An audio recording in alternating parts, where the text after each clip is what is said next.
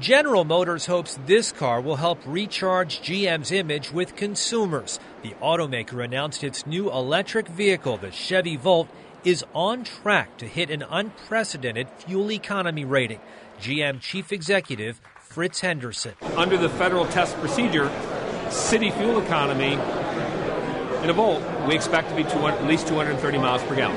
And composite, including city and highway, will be triple digits. We'll be uh, we'll be over 100. So uh, it's a good number. GM has been racing to make the Volt the first mass market plug in hybrid in the U.S. market.